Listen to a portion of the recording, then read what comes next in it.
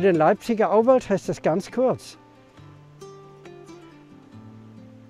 Der Leipziger Auwald stellt sich seit 1930, das sind mittlerweile etwa 90 Jahre um, auf einen Nicht-Auenwald.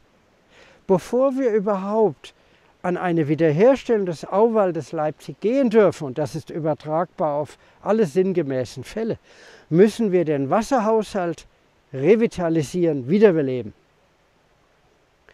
Dann kann der Wald, der alte Wald vor allem, der noch zu Zeiten aufgewachsen ist, da der Fluss vital war, wieder zu Kräften kommen. Das bedeutet, das Grundwasser hebt sich, es beginnt zu schwanken und das Oberflächenwasser kann ebenfalls schwanken und so wie hier beim Liederbach kann es dann auch zeitweilig über die Ufer treten. Wenn wir diese Standortsituation wiederhergestellt haben, dann können wir daran gehen, den Wald dort, wo er es nötig hat, auch wiederherzustellen, von der Baumartenzusammensetzung. In Leipzig versucht man es beinahe schildbürgerhaft anders. Ich bitte um Verzeihung, aber mir kommt es nicht anders vor. Man sagt, na, wir haben gerade keinen intakten Wasserhaushalt, dann bauen wir doch einfach einen Wald.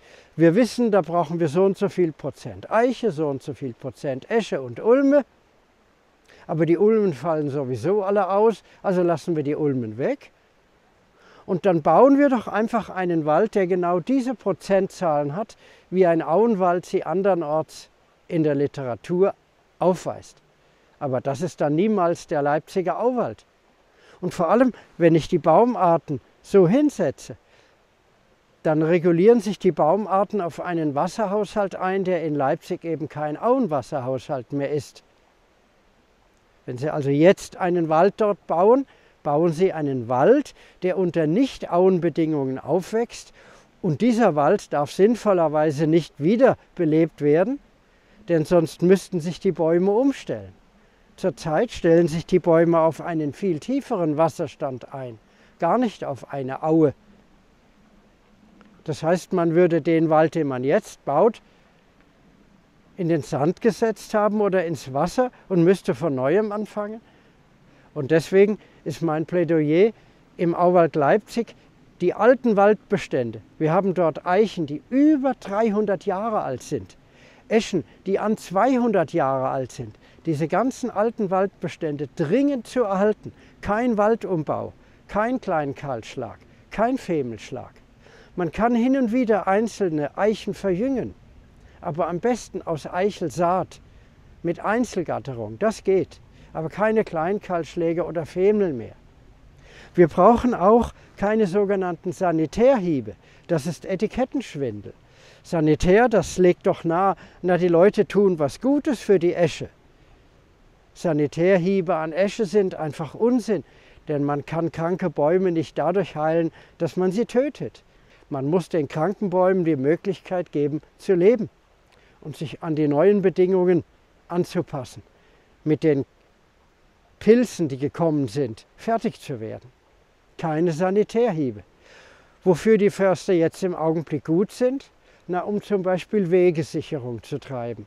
Oder auch den Menschen den Wald als Ökosystem nahezubringen und verständlich zu machen, warum zurzeit kaum Forstnutzung im Auwald möglich ist.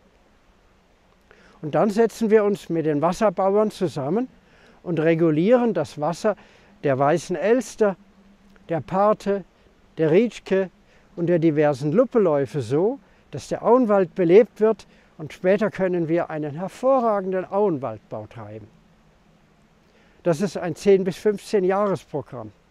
Wenn wir jetzt die Gewässerentwicklung planen, dann können wir ungefähr in zwei bis drei Jahren spätestens beginnen, das gesamte Gewässersystem so wieder zu beleben, dass die Natur davon den besten Gewinn hat.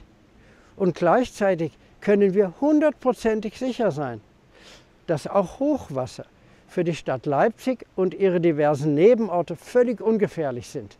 Leipzig ist diesbezüglich besonders glücklich dran. Dresden und andere Städte müssen vielleicht etwas vorsichtiger sein, aber auch dort kann man Hochwassergefahr problemlos beseitigen.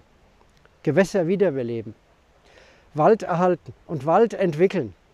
achtsame Forstwirtschaft treiben. Es geht, sehr verehrte Damen und Herren. Leipzig kann die Modellstadt für einen Auenschutz werden.